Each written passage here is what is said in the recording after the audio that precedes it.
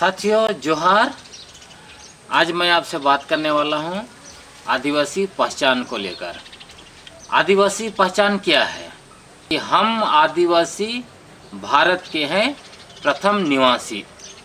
अब ये जो हम आदिवासी भारत के हैं, प्रथम निवासी, इसको ख़त्म करने के लिए लंबे समय से अलग अलग तरीके से षड्यंत्र चल रहा है, जिसको हमें समझने की ज़रूरत है।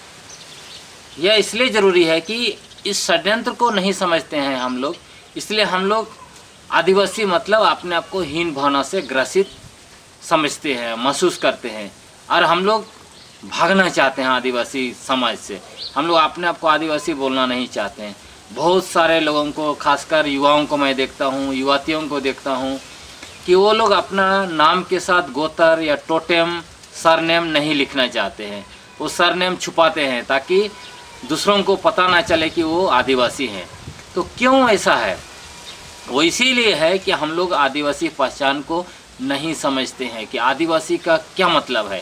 आदिवासी शब्द को एक षड्यंत्र के तहत ऐसा पोट्रे किया गया है, ऐसा दिखाया गया है कि आदिवासी का मतलब अनपढ़, गंवार, जाहिल, पिछड़ा, नीच और आदिवासी समाज को ऐसे दिखाया गया है जैसे वो एक कूड़ा का ढेर है। तो हमारे आदिवासियों के मन में यही चीज़ बैठ गया है कि आदिवासी समाज एक खराब समाज है, पिछड़ा समाज है, जंगली समाज है, पीने वाला समाज है। सब तरफ़ से नीचा दिखाने का कोशिश किया गया है और उसको हम लोग मान लिए हैं। मान लिए हैं क्यों? क्योंकि इस षड्यंत्र को हम लोग नहीं समझते हैं। क्यों ऐसा किया गया? वो इसलिए किया गया है कि आर्य लोग जब बाहर से आए हमारे देश में तो वो लोग जो है कि देखे कि यहाँ तो पहले से लोग रह रहे हैं। आदिवासी लोग। अगर इनको ख़त्म नहीं किया जाए, इनका पहचान ख़त्म नहीं किया जाए तो इस देश का निवासी हम हैं, ऐसा कैसे वो घोषणा कर सकते थे? इसीलिए उन्होंने हमारा पहचान को ख़त्म करने के लिए षड्यंत्र किया। और उसी षड्यंत्र के तहत लंबे समय से चल रहा है। अलग अलग लोगों ने आदिवासियों को अलग अलग नाम से पुकारना शुरू किया। सबसे पहले जब अंग्रेज़ आए, तब अंग्रेज़ों ने के समय में अबोरिजिनल कहा गया, कितना बड़ा बात कहा गया। अबोरिजिनल मतलब यहाँ के असली लोग। लेकिन उसको धीरे धीरे अबोरिजिनल शब्द को ख़त्म करके ट्राइब शब्द उपयोग किया गया। ट्राइब एक गाली शब्द है, दूसरे दर्जे के लोग हैं। इस तरह का ट्राइब शब्द का अर्थ है, दूसरे दर्जे के लोग हैं। उसको करने के बाद में, जयपाल सिंह मुंडा एक ऐसे व्यक्ति थे, जिन्होंने कहा कि हम आदिवासी हैं, हमें आदिवासी बोलो। संविधान सभा में बहस हो रही थी, जब भारत का संविधान बनाया जा रहा था, तब उन्होंने बार बार कहा कि हम आदिवासी हैं, हम अपने आप को गर्व से आदिवासी कहते हैं और हमें आदिवासी शब्द ही पसंद है, दूसरा शब्द हमें पसंद नहीं है। लेकिन उस समय में याद रखिएगा कि गांधी गांधी ने क्या शब्द उपयोग किया हमारे लिए? गांधी ने कहा गिरिजन, जबकि मारंगोम के जयपाल सिंह मुंडा ने बार बार कहा कि हमें आदिवासी बोलो। उसके बाद भी गांधी ने आदिवासियों के लिए गिरिजन मतलब गिरी में मतलब जंगल, जन लोग, जंगल के लोग, ऐसा शब्द उपयोग किया। उसके बाद अंबेडकर भी अपने एक भाषण में कहते हैं कि ये असभ्य लोग हैं। इनके लिए सरकार को कुछ करना चाहिए। तो इसी से आप समझ सकते हैं कि वो डॉक्टर भीमराव अंबेडकर भी आदिवासियों को किस तरह से देखते थे, जबकि वो खुद दलित समाज के थे। वो खुद उन्होंने छुआछूत और अत्याचार बहुत सहा था। उसके बाद भी आदिवासियों के लिए असभ्य शब्द का उपयोग किया। उसके बाद में, बाद के दिनों में आप देखिएगा तो आरएसएस, राष्ट्रीय स्वयं सेवक संघ और उससे जितने भी संगठन निकले या फिर राजनीतिक दल, जैसे भाजपा के लोग, भाजपा नेता जितने भी हैं, संघ के नेता जितने संघी लोग हैं, सब क्या बोलते हैं, वनवासी। मतलब ये जंगली लोग हैं, इसके अलावा इनका कोई पहचान नहीं है। उसी तरह राष्ट्रीय अनुसूचित जनजाति आयोग क्या बताया आदिवासियों के बारे में? उसने परिभाषा दिया कि आदिवासी मतलब ये लोग जो है कि जंगली लोग हैं, मांस खाने वाले लोग हैं दारू पीने वाले लोग हैं, नित्य में लीन रहने वाले लोग हैं। इस तरह का उन्होंने हमारे बारे में परिभाषा लिखा। और आज के समय में देश के प्रधानमंत्री नरेंद्र मोदी क्या बोलता है? बोलता है वन बंधु हैं। और हमारे लिए वन बंधु योजना करके उन्होंने योजना शुरू की। ये उनका मानसा नहीं हमारा विकास करना, लेकिन हमारा अस्तित्व ख़त्म करना, ताकि धीरे धीरे हम जो है कि उस, हम भूल जाएँ अपने आप को आदिवासी बोलना। लेकिन इससे भी सबसे बड़ा षड्यंत्र हुआ वो संविधान में हुआ, जिसको हमें समझना चाहिए। संविधान का जब मसौदा तैयार हुआ था उसका अनुच्छेद तेरह का उप अनुच्छेद पाँच में अबोरिजिनल अंग्रेज़ी में शब्द उपयोग किया था हिंदी में आदिवासी। लेकिन इस शब्द को हटाने के लिए डॉक्टर भीमराव अंबेडकर ने अपना एड़ी चोटी एक कर दिया। उन्होंने संविधान सभा का आ, जो प्रोसीजर है उसमें कहा है उसमें आप पढ़िएगा वो कहते हैं कि आदिवासी शब्द अबोरिजिनल शब्द का कोई अर्थ नहीं है। अब बताइए, वो बाहर में, विदेश में पढ़े थे और उनको अबोरिजिनल शब्द का कोई अर्थ पता नहीं था? उनको पता था। उनको समझ में आ गया था कि अगर आदिवासियों को अबोरिजिनल शब्द लिख दिया गया संविधान में, आदिवासी शब्द लिख दिया मतलब ये भारत के प्रथम निवासी हो जाएँगे और बाकी सब लोग, दलित लोग भी दूसरे दर्जे का नागरिक हो जाएगा और सारा अधिकार जो है आदिवासियों को मिल जाएगा। इसीलिए उन्होंने आदिवासी शब्द को अबोरिजिनल शब्द को संविधान से जो है कि बेदखल कर दिया, हटा दिया। और जिस दिन इस बात पर आखिरी निर्णय लेने वाला था, उस दिन ऐसे समय निर्णय लिया जब मारंगांव के जयपाल सिंह मुंडा दिल्ली में उपस्थित नहीं थे। तो ये एक बड़ा षड्यंत्र का हिस्सा था। इसमें यह भी आपको समझना है, कैसे संविधान में अनुसूचित जनजाति शब्द डाल के हमें जाति व्यवस्था में घुसाने की कोशिश की गई है। अब अंग्रेज़ी शब्द को गौर कीजिए।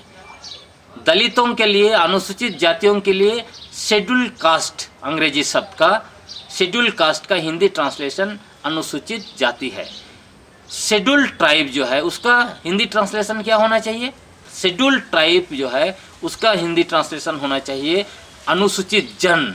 लेकिन अनुसूचित जन के साथ जाति शब्द को जोड़ दिया गया है।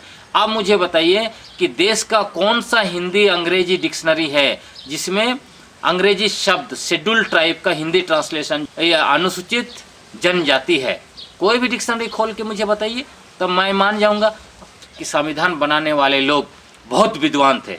इतने बड़े बड़े विद्वान लोग जो है, कहाँ से ये शब्द खोज के लाए? कौन सा डिक्शनरी से लेके आए?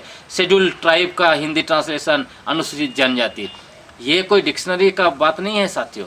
यहाँ पे आदिवासियों को जाति व्यवस्था में डालने का बात था। और उसी के बाद आदिवासियों को जाति सर्टिफिकेट दिया गया। और आज देखिए, सत्तर साल से हम लोग जाति सर्टिफिकेट ले रहे हैं। तो हमारे दिमाग में क्या घुस रहा है? हम लोग भी जाति व्यवस्था में आते हैं। इसीलिए आज लोग बोलते हैं अपने आप को, आप पूछेंगे, आप कौन समुदाय से आते हैं? तो कहते, मैं जो है मुंडा जाति से आता हूँ, खड़िया जाति से, उराव जाति से, गोंड जाति से, हो जाति से संताल जाति से। क्या हम लोग जाति व्यवस्था से आते हैं? हम लोग वर्ण और जाति व्यवस्था से नहीं आते हैं। हम लोग वर्ण और जाति व्यवस्था से बाहर हैं। इसका सबसे बड़ा उदाहरण है, सोशियोलॉजी का स्टडी बताता है कि देश में जो वर्ण और जाति व्यवस्था है, उसके अंतर्गत तीन हज़ार जातियाँ और पच्चीस हज़ार उपजातियाँ हैं। उसमें जो है, सनातन हिंदू धर्म में सिर्फ़ एक जाति, ब्राह्मण जाति ही पुजारी बन सकता है। जबकि आदिवासी समाज में देखिएगा, पूरा देश में 744 आदिवासी समूह है। अलग अलग उराव, हो, मुंडा, खड़िया, संताल, गोंड, इस तरह का 744 इनके अपने अपने पुजारी हैं, जैसे मुंडा, खड़िया उराव, उसको जो है कि बोलते हैं पहान संताल बोलते हैं नाइके बायगा जो है कि अपना पुजारी को बायगा ही बोलते हैं हो लोग बोलते हैं देवरी तो यदि हम वर्ण और जाति व्यवस्था का हिस्सा होते तो हमारे पुजारी अलग होता, अलग हमारा पुजारी नहीं होते। हमारा पुजारी भी जो है कि वो ब्राह्मण ही होता। तो इसीलिए ये एक बहुत बड़ा अंतर है, जो बताता है कि हम वर्ण और जाति व्यवस्था में नहीं आते हैं। वर्ण और जाति व्यवस्था के बाहर हैं। इसलिए हम लोगों को जाति सर्टिफिकेट नहीं दिया जाना चाहिए। लेकिन इस बात को हमारा कोई भी नेता पार्लियामेंट में नहीं उठाया। अभी इस पर आवाज़ उठाना चाहिए, हम लोगों को आंदोलन करना चाहिए। हमें जो है मांगना चाहिए कि हमें जन्म प्रमाण पत्र मिलता है, उसी जन्म प्रमाण पत्र में एक कॉलम होना चाहिए, जिसमें लिखा जाना चाहिए कि हम जो समुदाय से आते हैं, उराव खड़िया हो, मुंडा, संथाली, जो भी समुदाय से आते हैं, गोंड से आते हैं, बैगा से आते हैं, ये लिखा जाना चाहिए। आदिवासियों को जाति सर्टिफिकेट देना, आदिवासी अस्तित्व के साथ जो है कि खिलवाड़ करना है साथियों।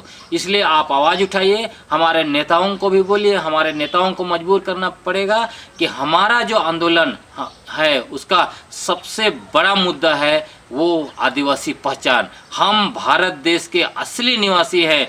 इस बात को भारत सरकार बार बार इनकार करती रही।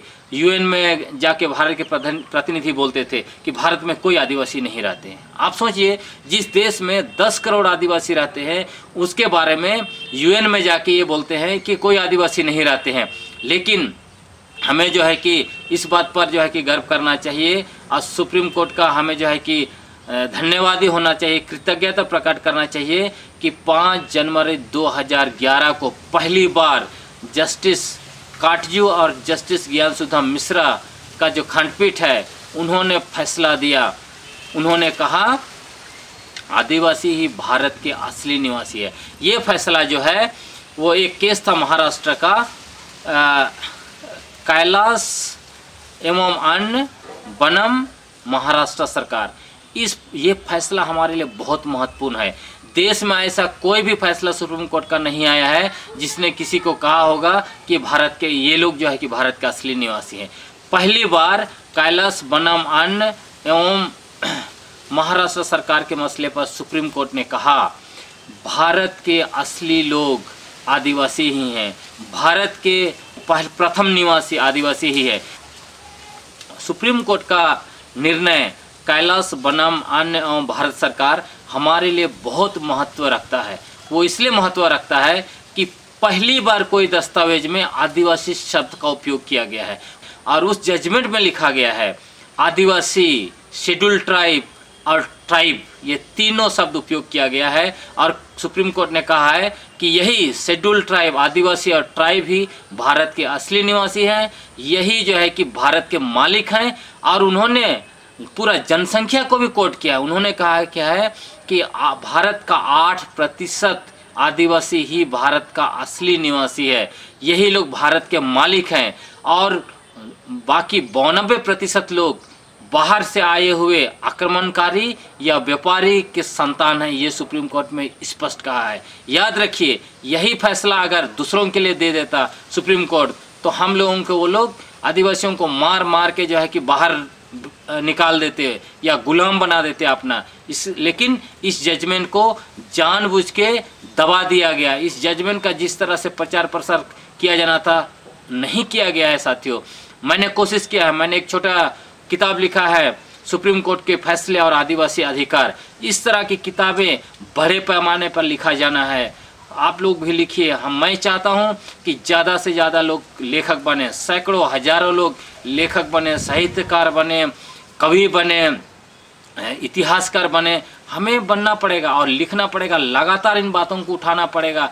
तब जो है कि ये हमारा आदिवासी पहचान स्थापित होगा। और इसी बात से डरते हैं, ये बाहर से आए हुए आर्य लोग। इसीलिए हम लोगों को वनवासी घोषित करना चाहता है। जिस दिन हम लोग आदिवासी बोलना छोड़ देंगे, उस दिन ये अपने आप को जो है कि इस देश का असली निवासी घोषित कर देंगे। आज देखिए, हम लोगों को वनवासी कहा के हम लोगों को बोलता है, ये लोग हिंदू हैं, इस तरह हमारा पहचान से खिलवाड़ कर रहा है, उसका परिणाम क्या हो रहा है? तो जो हिंदू धर्म मानते हैं या सरना धर्म मान रहे हैं, उनको भी मैं देखता हूँ।